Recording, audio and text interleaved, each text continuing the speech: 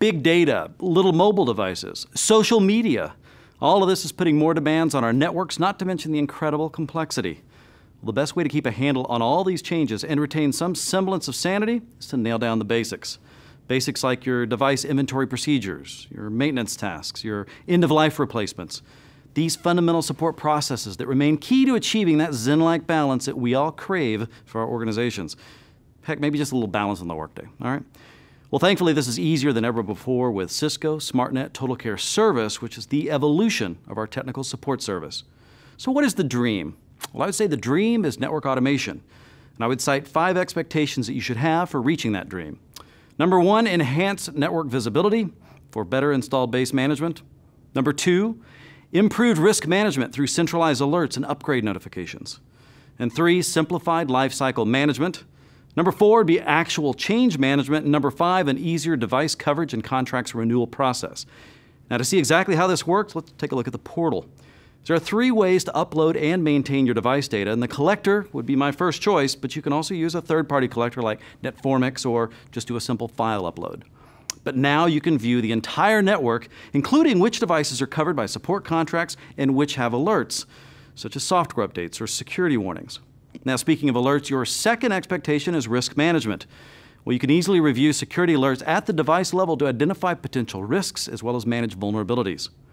Well, Smart Data Advantage can be used to send configuration data and bug codes directly to Cisco TAC, allowing them to proactively address your specific issues using things like your configuration, your changes, your inventory, syslogs, and of course your alerts. Well, solid lifecycle management is how to really stay proactive, however. Keeping the network up to date can be an ongoing, perhaps uh, arduous task, but you can create heat maps to identify high-risk areas and critical network devices. You can prioritize and allocate budget for replacement or coverage renewal. You can see exactly how many of your devices are affected by software updates to make sure that they're all up to date. Identify pending end of support or end of life.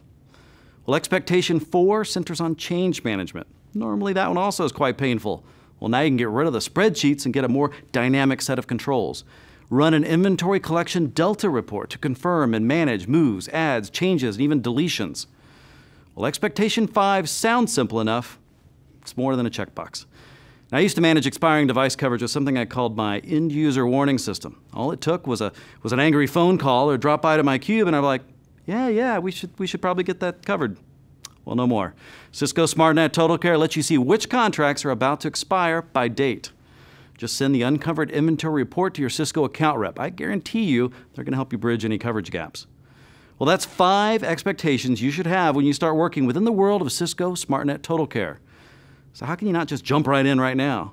Now, if you still want a little more detail, we do have a three-part video series that will walk you through setting up the administrator and first users, deploying the network collector, and even tweaking the whole system to ensure that you're getting all of these benefits we just mentioned. This is great stuff, so make sure that you're getting everything you can out of it and I thank you for watching.